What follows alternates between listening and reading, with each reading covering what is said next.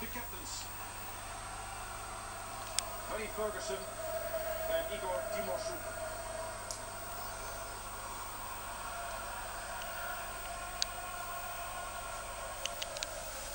Dit is het elftal van Walter Smith.